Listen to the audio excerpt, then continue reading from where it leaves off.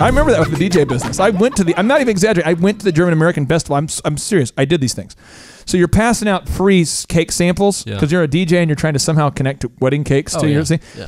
And you're not connect collecting their information. Yeah. So you mm. leave mm. poor, even though mentally you feel like we connected with so many people at the fair. It was so great, Jose. I was. That At, is so true. I was. At, I, I had. We used to have the, the mall. I know you had some mall kiosk experience. I did. But we had the mall kiosk there, and we had a where you could like take samples, like we could take like your photos and stuff, and at the, at the so we could show you our wedding photography service. We're like, hey, free headshots and free whatever. And if you don't collect their information, you might feel good, but you're not making any money. Yeah. So, Stuart, can you kind of walk me through kind of like the top three low lying fruit that you've seen that work pretty well here, as far as you know, doing the free trial offer? Yeah, uh, samples. A good example. So if you sell cookies, Yeah. right, come in for a free cookie.